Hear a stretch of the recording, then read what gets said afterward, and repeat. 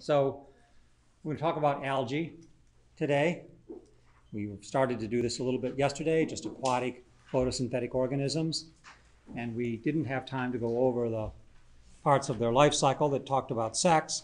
So we'll do that now. We're just going to look at some of the differences between the algae and the land plants, this very broad group of organisms that has no formal standing in the hierarchy.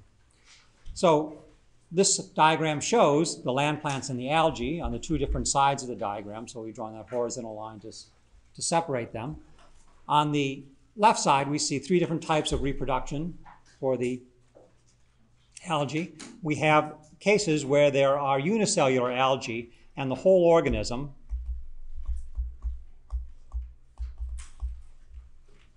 forms the sex cells.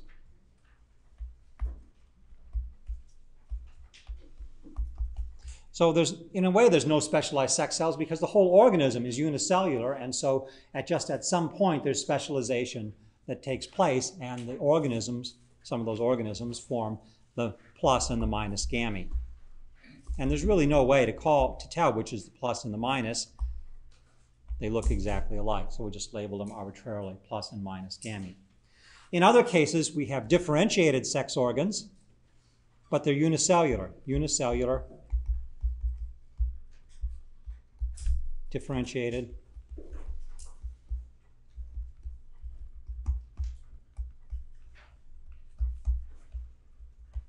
Sex organs. In this case, we have a non-mobile egg, and will, the sperm will be down here for release down here, the male and the female in this case. And in the third case, we have multicellular sex organs.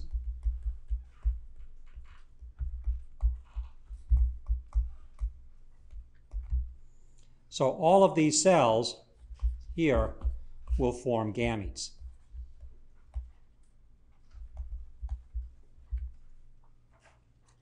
Now, in all of those cases, there is no sterile covering surrounding the cells, surrounding the sex cells. And so you haven't noticed that because you didn't know there should be any sterile coverings. But if we look over here on the land plants, we see around, surrounding the sex cells, and I'll label those gametes, the cells that are going to produce the gametes in a second. But around them, we have this layer of sterile cells. And that layer can be multicellular or unicellular, depending on the organism, but it doesn't really matter. That doesn't matter for us. What matters is that there are sterile cells surrounding the sex organs.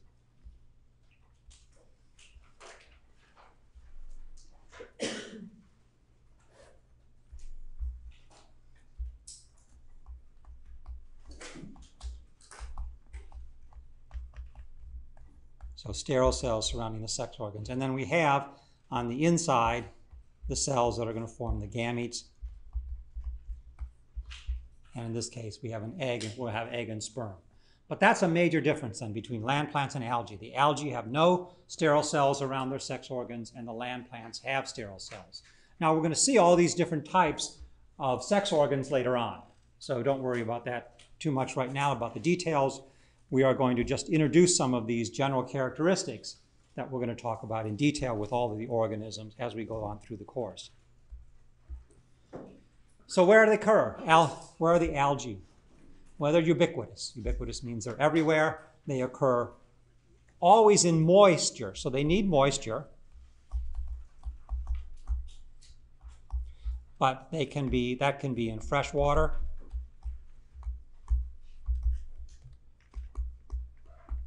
salt water, can be on moist soil, it can be on snow. Sometimes up in the high mountains, you'll see some red snow. And that is not a very sick hiker. That is usually a red algae growing actually in the snow. So they can grow in very kinds of extreme environments. They even occur inside other organisms. So here we have a snail, an aquatic snail. They're called nudibranchs. These are really fantastic organisms. If you don't know the nudibranchs, you should look them up just to learn about these great guys. And in these organisms part of the mantle. The mantle is a part in a mollusk that normally would form the shell around the mollusk, but in the nudibranchs there is no shell. There are the, the um, mantle has been specialized to contain algae. So there are endosyn- endosymbiotic algae.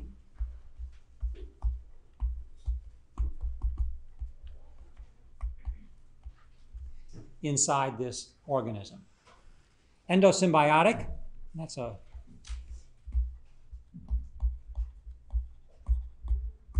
word you've probably heard before, but let's learn what it means. Endo, inside.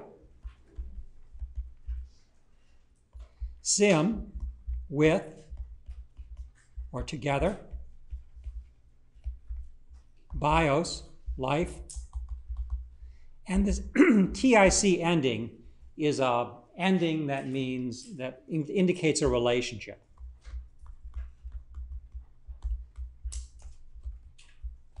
So inside life, with together inside life, a relationship of that. So it kind of describes what we're seeing here. We're seeing that the algae and the organism, the mollusk, have gone into a relationship whereby the mollusk provides a home for the algae and the algae produces photosynthate that the that the mollusk uses. So it's a symbiotic relationship. It's not a parasitic relationship, but a symbiotic relationship. The, al- the, the mollusk itself is not photosynthetic, but it becomes able to use the photosynthetic products because of the endosymbiotic algae. Now, we talked about basic life cycles last time, and I really went kind of overboard on all the information that I gave you. Let's back up for a minute and look at the life cycles again and start a little simpler than that. And we're going to get that complex as we go on. I'll just switch colors here so you remember that we're really doing now a basic, basic life cycle.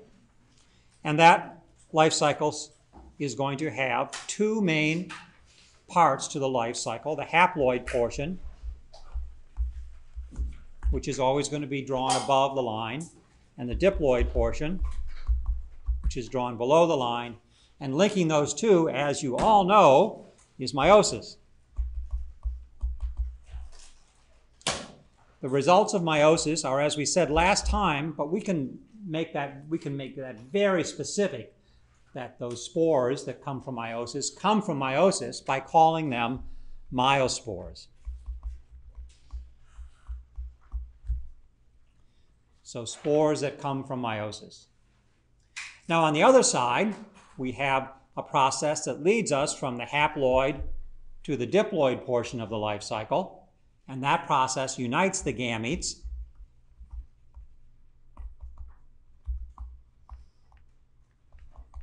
And we'll call those plus and minus gametes.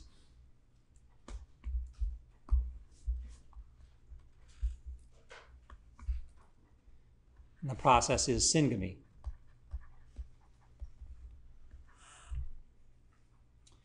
The, unite, the gametes are united to form a zygote.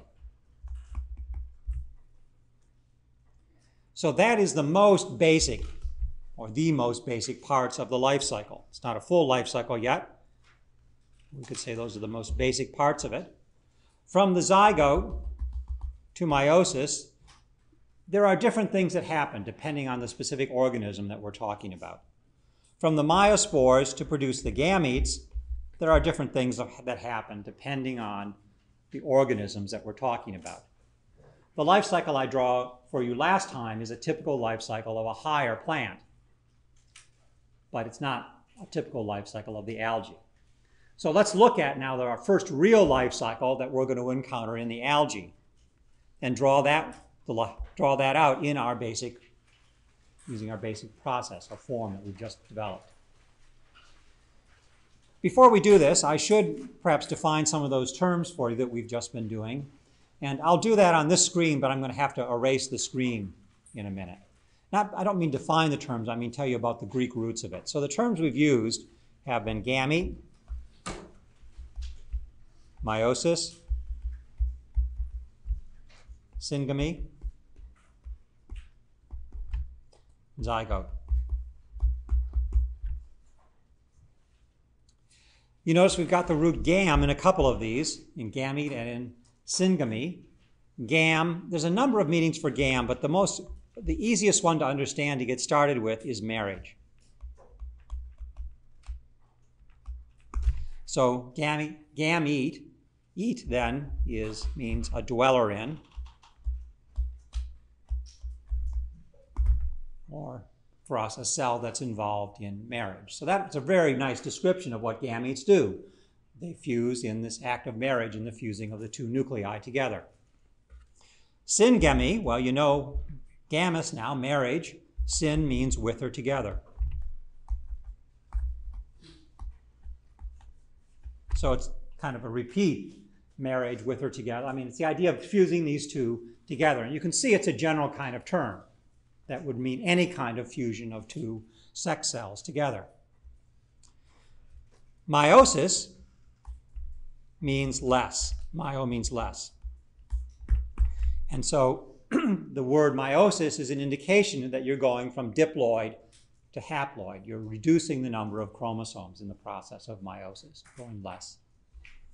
Zygote, ZYG, means to yoke.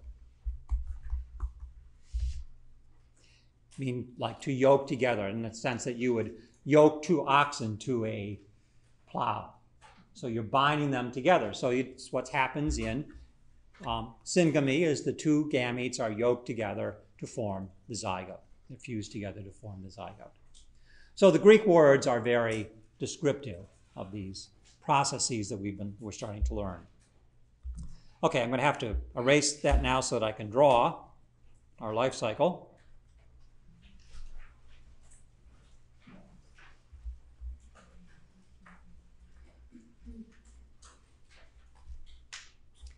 And we're going to look at the name of this life cycle also. But let's first draw it, and then we'll try to make sense of, we will make sense of, I hope, this weird name, monobionic haploid life cycle.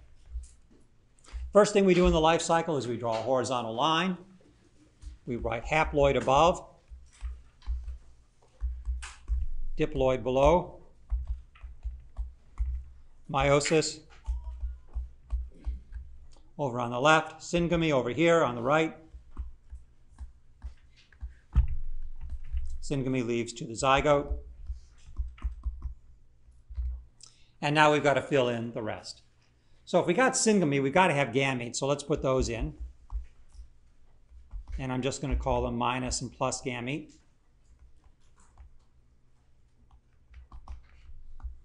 Fusing in the process of syngamy.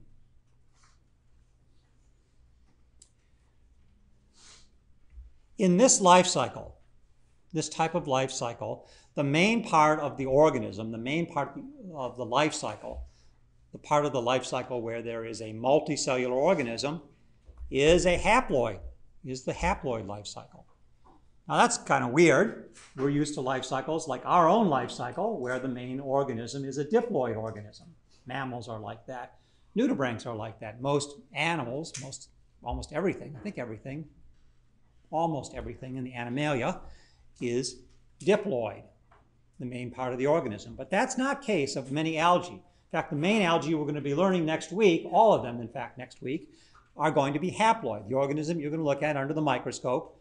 And in fact, the ones that you were looking at under the microscope in my lecture, in my lab, and in Ms. Rushford's lab this week, those are haploid organisms.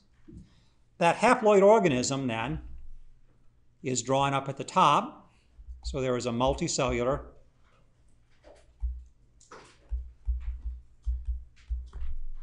haploid organism. And that multicellular, multicellular haploid organism is going to form the gametes. Now, because it forms the gametes, we use a special name for it. We call, as we talked about last time, the gametophyte. You know GAM, marriage, phyte, plant. So the marriage plant or the gamete bearing plant, if we want to stay within Greek.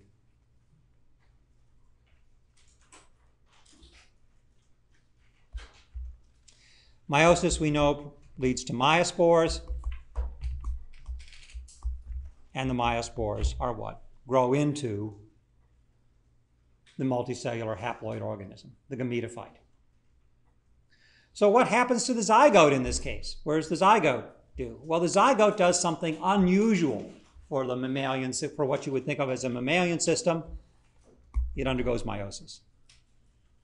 So it undergoes directly meiosis. So the zygote only exists in that single cell. It doesn't go through any mitotic divisions. It goes directly through meiosis. So how about this term, monobionic haploid?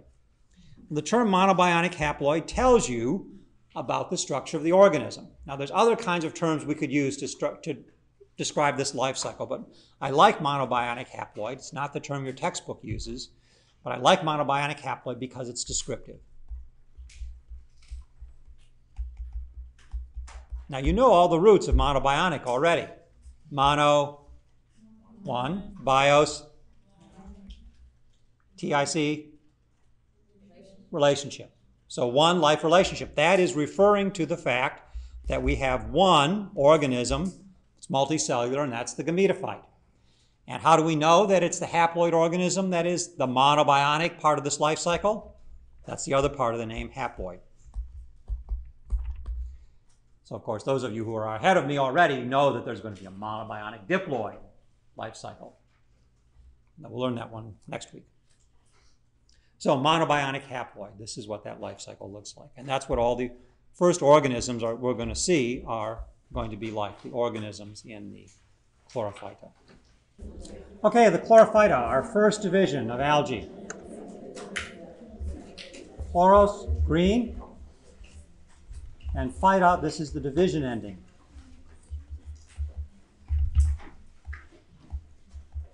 It means plant, but that's what we don't care about that so much now. It's the scientific name of the, at the division level in the kingdom Plantae. So the chlorophyta, the green algae is what we're dealing with. So all of these divisions of algae have specific kinds of characteristics, and we need to know, at least in general, some of the main characteristics of them. Now, all the plants that you've studied in introductory biology up till now have had chlorophyll A and B in them. These are the two basic kinds of chlorophylls that occur in the higher plants. And they also occur in the green algae. The other algae are going to have chlorophylls, but they're going to be different types of chlorophylls, different, um, slightly different structures of chlorophylls. So chlorophyll A and B are what's found in the al green algae, and it's one of the reasons we think the green algae and the land plants are very closely related to each other. Also, all the land plants you've learned about store their food reserves as starch, and that's also true of the green algae. They store their starch reserves as starch. And the starch is stored in, that's the key word here, in the plastids, which means in the chloroplasts in this case.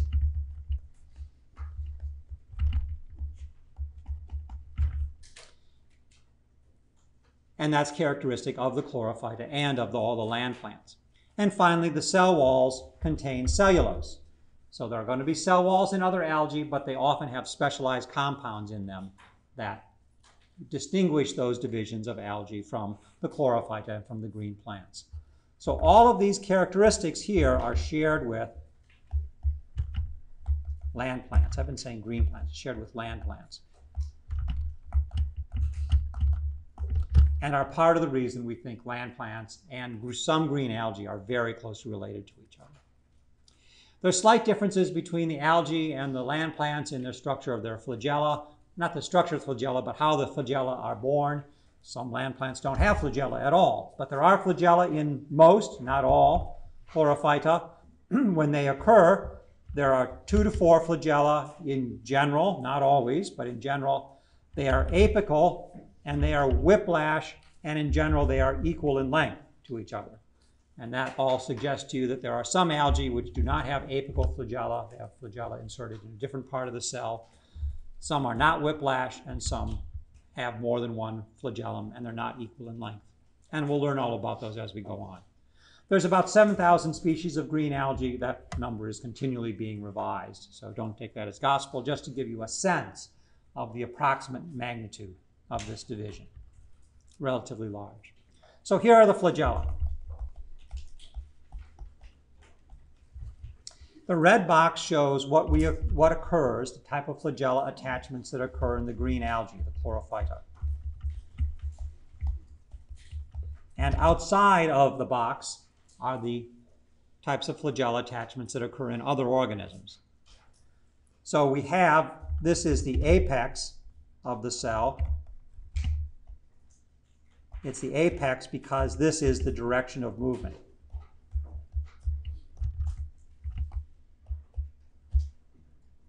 So you're probably thinking of things like mammalian sperm, which have their flagella at the rear and they push, so to speak, the sperm forward. Algae aren't like that. Algae have their flagella at the apex and they are like little arms up there and they're kind of feeling the water and pulling the algae through the water as it moves. It's really cool to see when you can see the algae. Here's an example of another group. This is Euglenophyta. It's got unequal flagella, two flagella, often sometimes very unequal. Over here we have the brown algae, the Phaeophyta. And they have two flagella, but they're not apically born, they're born on the sides. And then these two groups are not groups that we're going to do in this class, so we're not, won't talk about them. But you can see there's even other variations where flagella can be. Also, notice here maybe that there is a subapical placement of flagella in some classes, in some groups of green algae. In fact, in one of the classes of green algae we'll learn later, this is the subapical.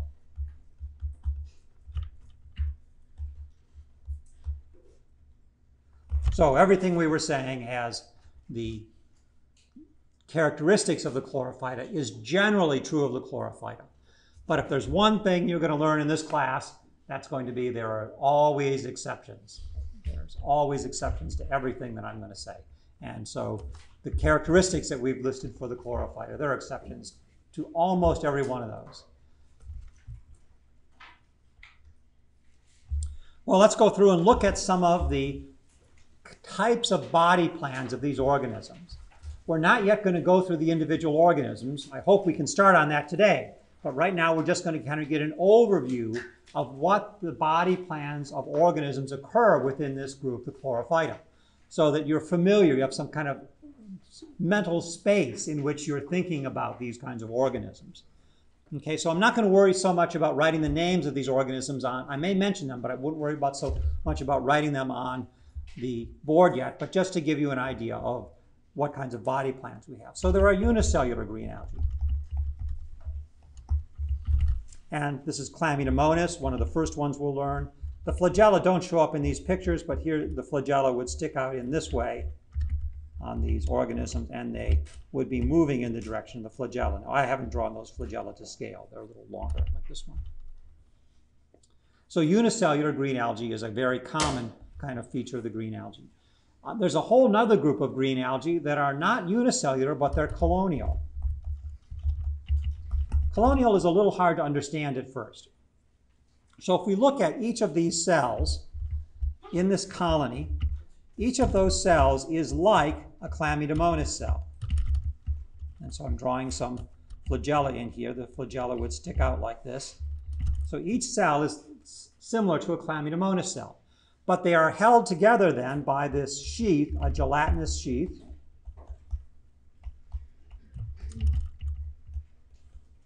That holds those cells together.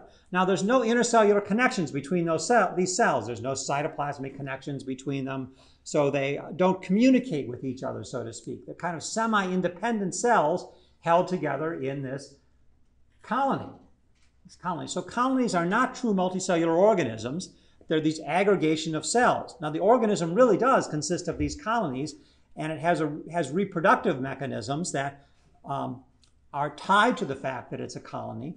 So it's not just any old cells that have just glommed together in the environment. It's not like you just take some chlamydomonas cells and you stick them together and you've got a colony. It doesn't work. These are real organisms there, and there are these intermediate states between unicellular and, and true multicellular. So there's a whole line of these organisms which we'll be studying. The most complex of those lines down here is Volvox.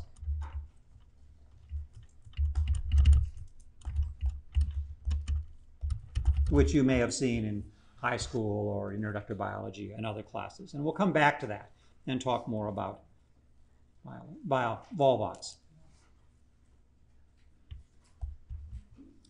Here is our first use of our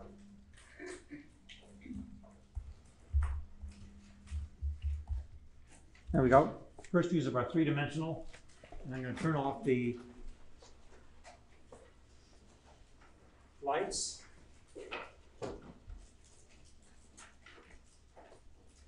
Is that dark enough to see? We can put down the blast shields also. We need to. I think it's really dark.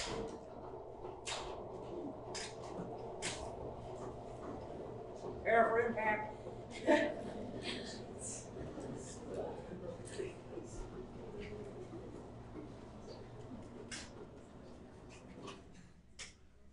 One of them doesn't work anymore.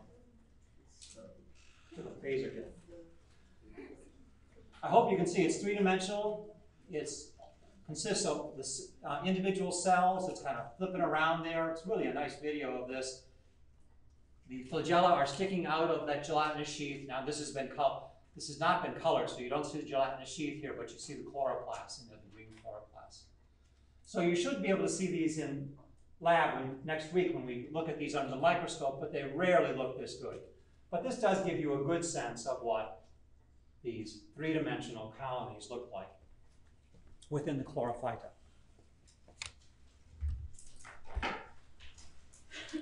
Another type of colony, let me turn this back on.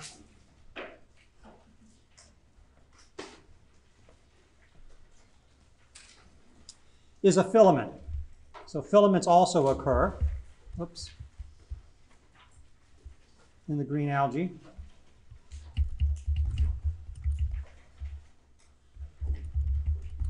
And they are a form of colony.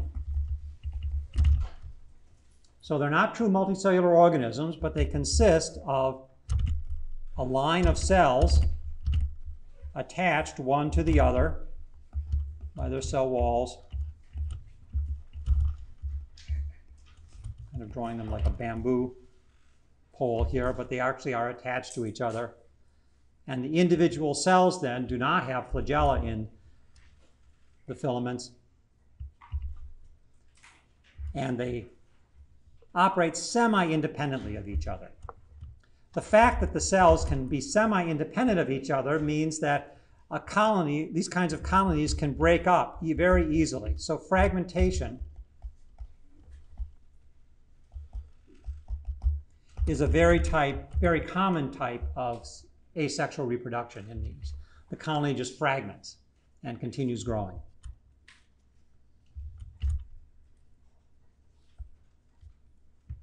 There are also organisms, like this one is ulva, that are, have flat sheets of cells.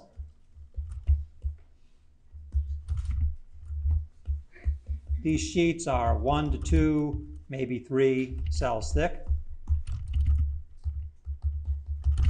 And they can be really planar, or they can have these kind of long forms. Um, they're not really filaments here, they are flat sheets of cells.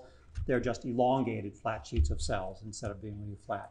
This thing down here, that's not ulva, that's uh, a red algae that the ulva is growing on top. So that's a red algae. We'll talk about those in another lecture. So flat sheets of cells. Then we've got these really weird organisms, like this is acetabularia, the one we named last time, the mermaid's wine cup. You can see why it's called mermaid's wine cup here. You can also see why it's called crenulata. Crenulate is this shape here. That, that's, that little ruffled shape is called crenulate. These are tubular organisms. And exactly what we mean by tubular, we will leave for another lecture because I've got to have something to tell you later on. They're really interesting and fantastic organisms. You're really going to enjoy looking at that. Let's look at the diversity of chloroplasts.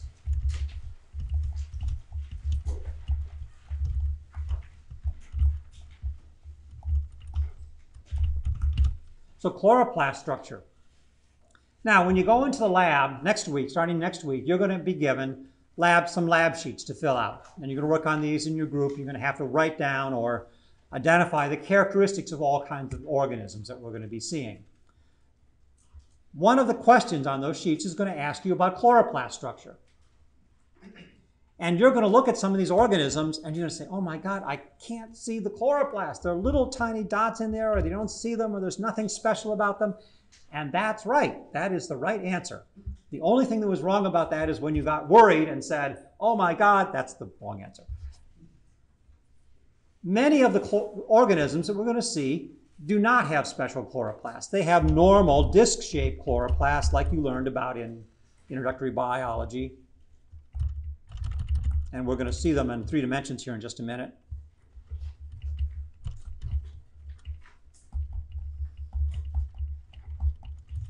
So the normal disc-shaped chloroplasts. However, a few algae do not have disc-shaped chloroplasts. They have fantastically, incredibly cool chloroplasts. And that's why we have that question there. So here we have chloroplasts that are band, not band-shaped, but they're spiral chloroplasts. In fact, the organism you look at in lab today or Tuesday had spiral chloroplasts. We didn't emphasize that, and that organism is Spirogyra because of its spiral chloroplasts. Here's star-shaped chloroplast. Here's band-shaped chloroplast. We'll see those in three dimensions in one second.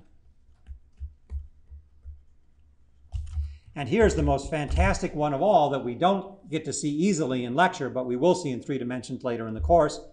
And these are net-shaped, or just net chloroplast. So those dark areas there are where the chloroplast is, the really chloroplasts that look like that. Nothing at all like these little discs. There's also in Chlamydomonas and its relatives, those colonies I was talking about, there are cup-shaped. This is a very common type of chloroplast. They're not easy to see under the light microscope, but we'll try to show you them in three dimensions here as we go on. So here we have second three-dimensional one. This one doesn't move.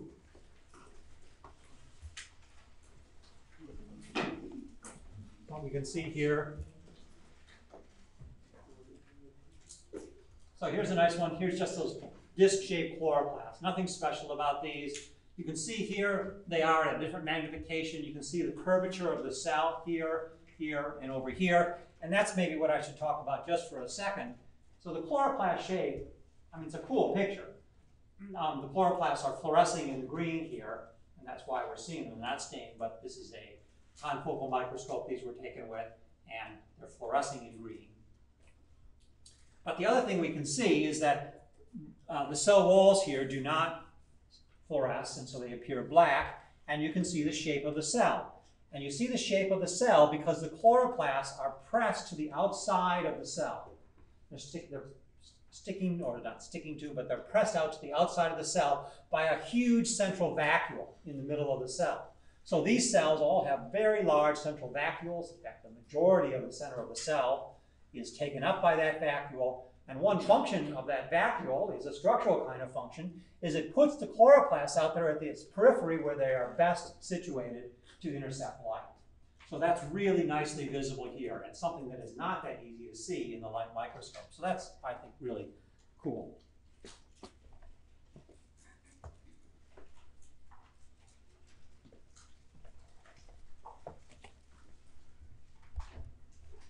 Ah, forgot we have the band-shaped chloroplast. Can we do that without the with the light still on? Okay, so here's a band-shaped chloroplast. And if you can look at it just right, it's harder for me. It's maybe easier for you to see it. The band is kind of, so here's the band, you know, it's like this is the band and it's rotating like this. So it's open at this area there. So it's like a one of those um, women's bracelets that goes around their arm. Each of those is the cell. The cell wall is dark, and each cell has one of those band-shaped chloroplasts in it. So that's one whole chloroplast that has that shape. Again, pretty neat and not the most fantastic chloroplast we're going to see. So that's why the question's there, because in some cases we have chloroplasts that are really unusually structured. Reproduction. We said we're going to talk a lot about sex today, and that's not going to start right now because we're going to talk about asexual reproduction right now. No sexual reproduction without sex with is probably the major way that most of these organisms reproduce. There's a number of mechanisms of asexual reproduction in the chlorophyta. Not all of the organisms will do all of these types of asexual reproduction. They'll do certain ones of them. And in fact, groups of organisms will be distinguished by the type of asexual reproduction that they produce. Well, what are those different types of asexual reproductions? Well, maybe first we should do some Greek again and learn this. We didn't do spore yet, and spore is really important. Spore means seed. So literally, the root spore means seed. Now, you can think of this kind of in the biblical sense of seed, right? They thought the Bible would talk about the male seed or something like that. It means a reproductive organ, a reproductive cell, not a reproductive organ, a reproductive cell. So in that sense, we're, the spores are seeds. Spores are not seeds like you go to the store and you buy a nut or you go outside and you pick a seed on a plant. They're not that kind of seed. We'll learn about that kind of seed later on in the course in the very last week. So they are seeds in the sense that they are reproductive cells and they are spores are almost this is one of those things where there's always an exception, but almost uniformly unicellular. Zoo means animal. So animal spore or animal seed is what a zoospore is. So this is a unicellular, mobile, reproductive cell, asexual reproductive cell. I'll write asexual up here. Which means that meiosis isn't involved and syngamy is not involved. A zoospore could be haploid, it could be diploid. There's nothing in our definition that says anything about the ploidy. It just says that it's mobile, unicellular, and is involved in asexual reproduction. Asexual reproduction means that this zoospore is going to be produced. It's probably going to swim around for a while because it's mobile. It's going to settle down and reproduce the whole organism just from itself, just from mitotic cell divisions. No meiosis, no syngamy. So many of the organisms have zoospores, not all of them.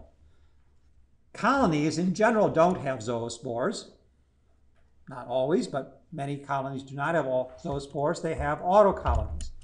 Now, the Greek root colony means colony. It's come into English as a word, and we don't know what a colony is from our general discussion of colonies already, so we don't have to define this root. It's that intermediate stage of development between a unicellular organism and a multicellular organism, a, a loose aggregation of cells that are associated together but not connected by cytoplasmic connections. Auto means self. So autocolony then is a copy of the parent colony, a self-produced copy of the parent colony.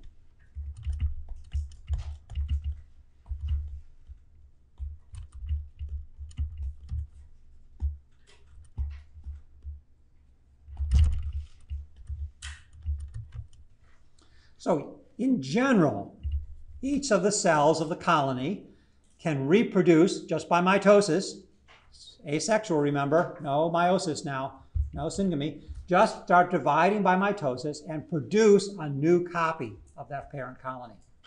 So each cell of the colony divides and produces a new colony out of it. Those are autocolonies. Well, what about unicellular organisms that don't have flagella? They don't have zoospores because they don't have flagella. They don't have autocolonies because they're not colonies. So we need a new term. And this brings us to a very important point, and one of the most important things you can learn in this class.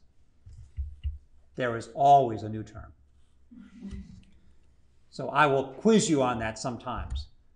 And when I say, and you know what this means, the answer is almost always certainly there's a term for that. And we're about to learn it. So there's a term for that, and we're about to learn autospores, self seeds. So this is then just a like a zoospore, except for a unicellular organism, except it has no flagella. So this is a unicellular asexual,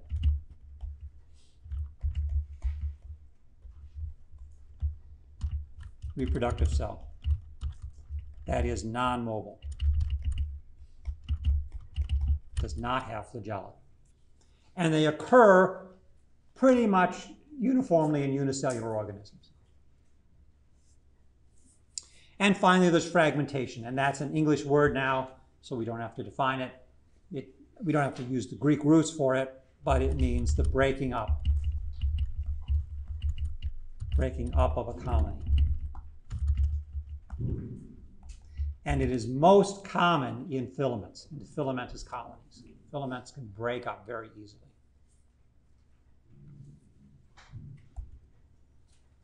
Well, I know you've been waiting for it, so we are going to do it. We're going to do sex now. No, no, we're not going to do sex. We're going to talk about sex. We're not even going to talk about doing sex. We're going to talk about how it works in chlorophyta. And specifically, we're going to talk about the gamete types that occur in the chlorophyta. Now, you're used to those darn mammalian systems that have no variation in their type of gametes. They are all oogamous. Gamous, you know, marriage. Oo, egg. So oogamous is egg marriage, which means there is a large, I'll put large in quotes, just means larger, a large, non-mobile,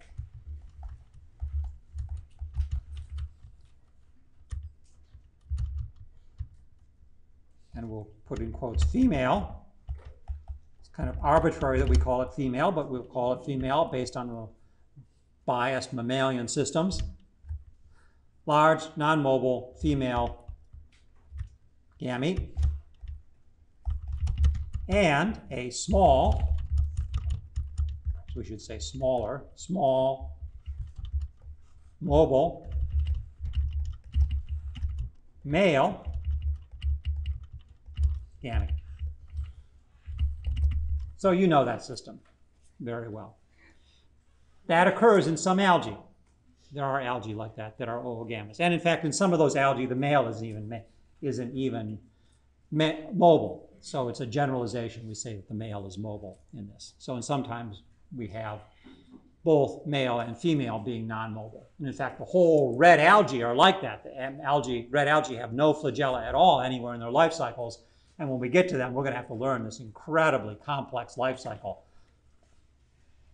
that has, that's been probably evolved to compensate for the fact that they have no mobile gametes on that. Just getting you excited for what's coming. Other types of gametes. Well, there's isogamous. Iso means the same, literally the same marriage. And let's look at the other root here. And means not. There's a couple roots that mean not. So the same marriage and not the same marriage, or the same gametes, if we could say, to make this even more comprehensible, and not the same gametes. Well, that almost tells you exactly what, I almost don't have to go on from there. You could write these definitions yourself, I bet now. Isogamous, well, the gametes are going to look exactly like each other. There's the male gamete or the female gamete. There's the female gamete or the male gamete. You can't tell them apart. They look exactly the same. They're both mobile. And so we call them plus and minus or minus and plus. Who knows? so they are both identical, mobile, gametes. Anisogamous is a little tougher. What's it mean that they don't look the same? They could not look the same in lots of different ways.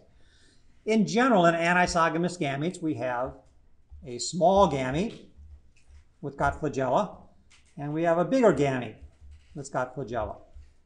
May not even be that big a difference in size. So they are both mobile, so they are not identical.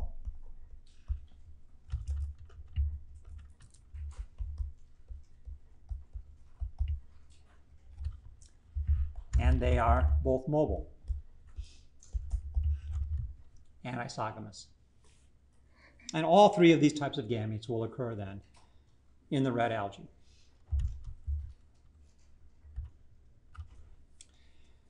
The hardest part. We get all the exciting stuff first, and now we get to the conceptually a little more difficult part about cell divisions. Now, again, you know cell division from a very limited number of organisms, basically from mammals and higher land plants. There's a lot more types of cell division that occur in mammalian systems and higher land plants. And we're going to talk about some of those divisions now. Now, there are important terms that are associated with these types of divisions that are the terms that are emphasized in your book, and we'll get to those terms in a minute. I'll tell you what they are now so you know where we're going. Phragmoplast and phycoplast. Very confusing concepts and very confusing terms. Let's try to make them not confusing by putting them in the context of, cell of the cell divisions we've been talking about. And maybe the place we should start is the cell divisions of the things that you know, like the land plants, somewhat similar in the, somewhat similar in the mammals. And in those cases, you know, when the nuclei divide, the first thing that happens is that the nuclear membrane breaks down. And a spindle forms. The chromosomes move apart on the spindle, and then nuclei reform in the new cells. So there's a spindle, and the nuclei are relatively far apart, no nuclear membrane. There are actually two ways now that the cell division can happen in that kind of a system. So there we are. We're looking over here first with that kind of uh, the long-lived spindle and the nuclei far apart as they develop it. And there's two types of ways where the cell wall can form. Here's the cell wall, drawn in red. That's the cell wall. And this is the cell wall here. The two types of ways are the cell wall can grow in from the outside. Basically what's happening is that the formation of those, you're having Golgi, Golgi bring up lots of, Golgi vesicles bring lots of material up to the ends of those cell walls and they're extending inwards. Or those Golgi vesicles can aggregate at the center of the cell, that's over here on this side, and the cell wall grows outward or appears to grow outward from the middle. So those are the two types of division. We still haven't talked about phragmoplast and phragmoplast yet, but we'll come back to those. Let's look at the other case now that occurs only in the algae, does not occur in the higher land plants. There are cases where there's a short-lived spindle and the nuclei remain close together. And they remain close together also because in this case of cell division, of nuclear division, the nuclear membrane does not break down. So the nuclear membrane remains intact throughout the process of nuclear division. It's going to divide later on, so we get two nuclei, but it remains intact initially. If you've got the nuclear membrane intact and you've got the nuclei close to each other, the nuclei don't need a spindle to separate. Spindle is not necessary to guide them. There's a surprise, isn't it? Because you all learned that the spindle was necessary to guide the chromosomes apart to the two different poles of the cell. Apparently not algae are really interesting, and this is only the beginning of. We're not going to go into any of the really detailed physiology of how these things happen in the algae. I just whet your appetite for this. You'd have to go on to another university, I'm afraid, to really take a cool phycology course or algal physiology course where you would be able to think about these things. But there are a lot of really cool things that so far you think are impossible that these organisms do. And this is one of them they have nuclear division, division of the chromosomes without a spindle, which is supposed to be essential. So the spindle is very short-lived. It does not function in separating the chromosomes, and the nuclei remain close together. Again, there are two ways the cell, the cell wall can form. Here is the one, it forms from the outside, and here is the other.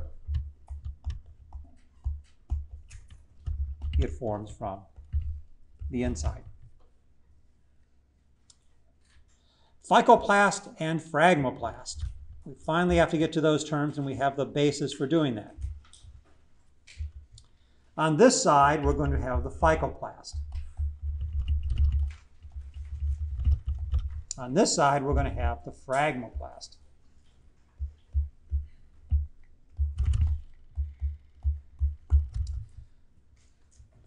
Phyco means seaweed.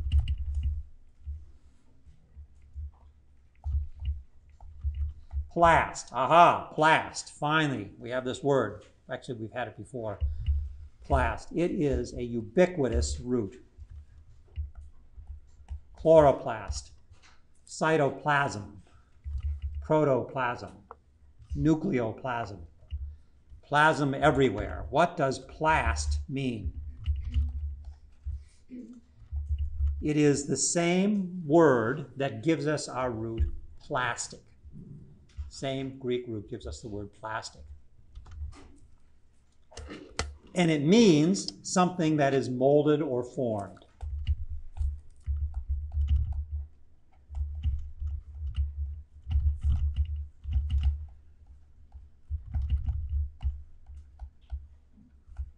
Something molded or formed. Why in the world are we calling the cytoplasm the, the protoplasm, the chloroplast, something molded or formed. Now, I don't know the absolute answer to this, but here's my suggestion why I think this was. So remember, it goes back to why we why are we using Greek and Latin at all? English is the lingua franca, so to speak, of science. It is the language that everyone scientist speaks now is English. So why aren't we having why aren't these names in English? Why are they in Greek and Latin? Because when science originated, more or less in England and Western Europe, the all educated people spoke or learned in college and high school equivalents Greek and Latin. So they were all conversant in these languages of Greek and Latin. So a grade school student would have studied Greek, uh, who was going in the upper classes would have always studied Greek. So it was natural for them then to use the language that they knew to identify these structures. Now, when the early microscopists looked inside of a cell, they didn't know what they're going to see. The first microscopes, they had no idea what was in there.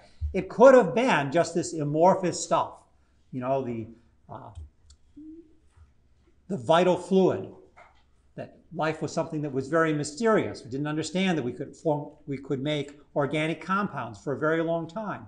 So this, we could look into these cells and we might see this mysterious stuff, stuff that was in there and there may be no structure to it. God's creation at work. And people looked in there and what did they see? They said, oh my God, there's stuff in there. There's formed stuff in there. It's not just an amorphous material. There are, there's plast. There's plast in there. So they, the name chloroplast, all those things, is because there was material inside the cell. Now, do I know this is absolutely true? No. But I transport myself back in time. It's a great story, though. I believe that it is true. That's because I've told it so many times. I'm sure this is right. It's the only way that makes sense of this root, plast. And I hope it helps remember the root, plast, because otherwise it makes no sense. So we have the phycoplast, the seaweed, something that's formed in, and it occurs in seaweeds, and something that is plast, and phragm means fence.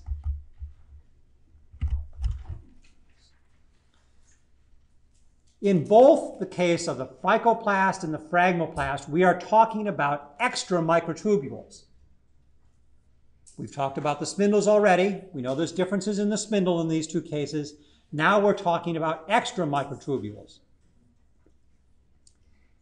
In the case of the phycoplast, the extra microtubules are here and they are parallel to the new cell wall. And it's thought that these extra microtubules orient, help orient that formation of that new cell wall so it forms at the right place. You know, microtubules do this kind of thing. Yes? When you say fence, what kind of fence are you talking Did I spell that wrong? Probably. I'm talking about the fence. Is that F E N C E? Thank you. That type of fence.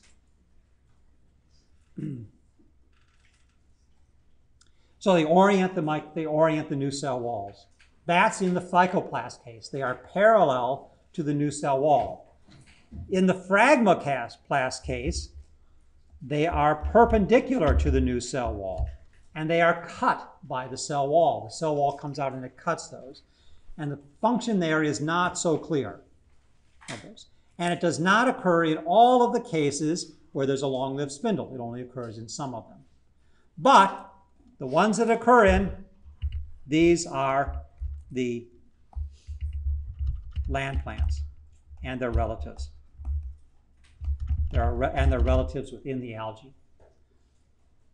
And this is one of the reasons why we're going through all of this is because the presence of the phragmoplast is an indication that the organism we're looking at is closely related to the land plants. And that's when one of the major scientific questions in botany for ever since Darwin, how did the land plants originate? So here's the distribution of the cell types within our three classes. Phyce is a class of algae. The Chlorophyceae, they have a phycoplast. The Charophyceae, ah, this is the one. This is going to be the group that's closely related to the land plants. They have a phragmoplast. And the Ulvophyceae, the third group, doesn't have either. It has no extra microtubules. Remember, these are not the normal spindle microtubules. These are extra microtubules. So in the Ulvophyceae, there are no extra, no extra microtubules.